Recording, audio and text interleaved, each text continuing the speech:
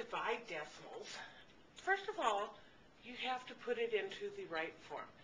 Nowadays, because everything is used with calculators, you really need to recognize that like the 8 and 1 tenth divided by 5, the divided by sign is on the calculator, but what we do is say into is not on a calculator.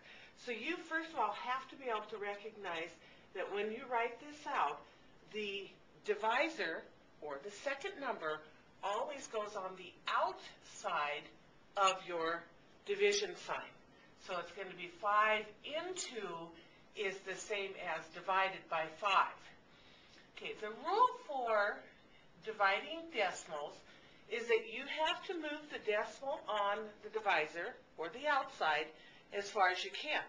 Okay, remember if there is no visible decimal, it is at the end. Just like a period's at the end of a sentence, the decimal's at the end of a number.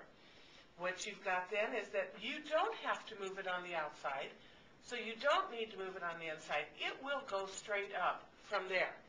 And then you are going to divide pretty much as if the decimals weren't there. 5 goes into 8 one time. 1 times 5 is 5. Subtract, 3 left over. Start her again. Bring down the 1. 5 goes into 31 six times. Here's where your lineup is very, very important. That you've got to make sure that you are lining everything up. Otherwise, your decimal is going to be in the wrong position. Continuing, 6 times 5 is 30. 1 left over, and at this point you can't say remainder or part of a fraction. We want you to keep going. So you're going to add a 0 onto the end and keep going. And then 5 into 10, oh, we finally get an ending point because at that point we have no remainders. We will show you how to end problems a little bit better on some of the ugly problems later. Okay, let's look at some problems that have the same numbers in it, but the decimals are in different places.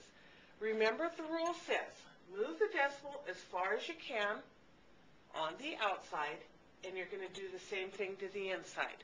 No matter what it looks like, we're going to do that first. So I'm going to move it over one on the outside, one on the inside, and it's going to go straight up from there.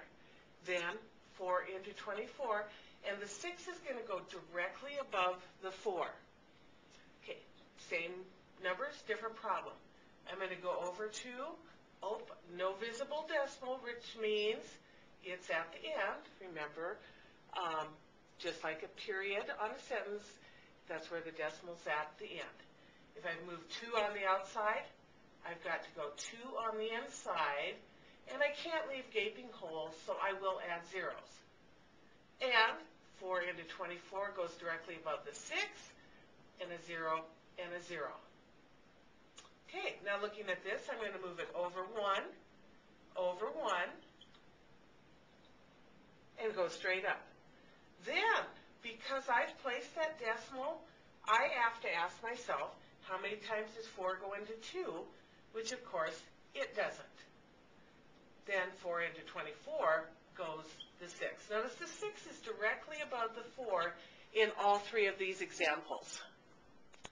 Okay, looking at another set of similar numbers, but they're different decimal places. Let me start here where I've got two places on the outside, which means I'm going to have to move two places on the inside. Add a zero, and your decimal will go straight up. 12 into the 14 is going to go once. 1 times 12 is 12. 2 left over. Bring down that 4. 12 into 24 is 2.